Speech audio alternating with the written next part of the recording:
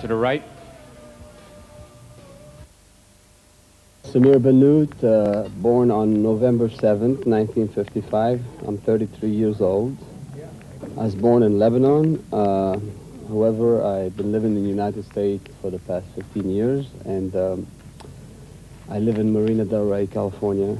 And uh, this is my second visit to uh, um, Finland. It's real nice to be back in here. The first moment that I really got in love with bodybuilding is I was going to the movie theater, and on the way to the movie, I stopped by a bookstore, by a newsstand, and I saw the cover of Muscle Builder. At that time, uh, it has Arnold Schwarzenegger on the cover with two ladies. Arnold was doing this pose, and women on each side, and I said, oh man, that looks unbelievable.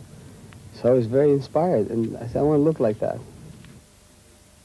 I did win the Olympia in 83. I competed for the first time in the 80 Olympia in Australia. Uh, and it was a big thrill for me to compete with the man that inspired me the most, who I picked up that magazine was on the cover, was Arnold Schwarzenegger. And I tried extremely hard, and I knew I could, I could have done good, but back then I lacked the knowledge. You know, Johnny, how hard it is, how scientific our sport is, and and so uh, I was trying too hard. I was overtraining. I was under-eating. I wasn't recuperating enough. And so therefore I didn't do good in uh, Australia. So I made another plan for the 81. I did a little bit better in Columbus, Ohio.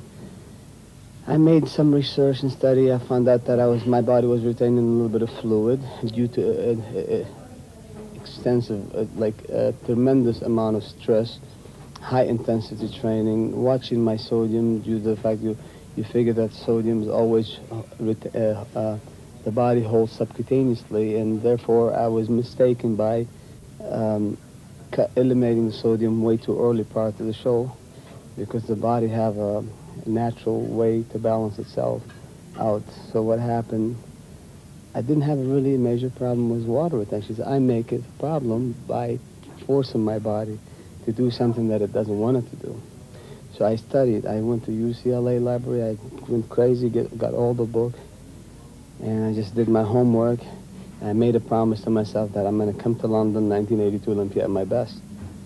And scientifically, I put it together. I came in, I did very well. I was in my best shape ever. I was in the top four. And many observers thought I could have done actually the top two.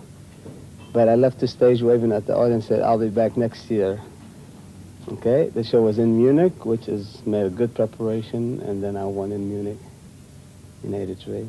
Once you a doctor once, you know, there's no reason to become a doctor twice or three times. Now, now I'm doing it for love, and at the same time, I'm professional. I do want to make a living.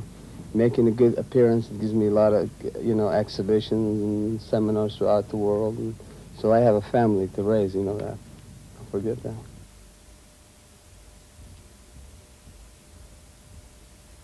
Say Mr. Olympia 1983. Numerolla viisi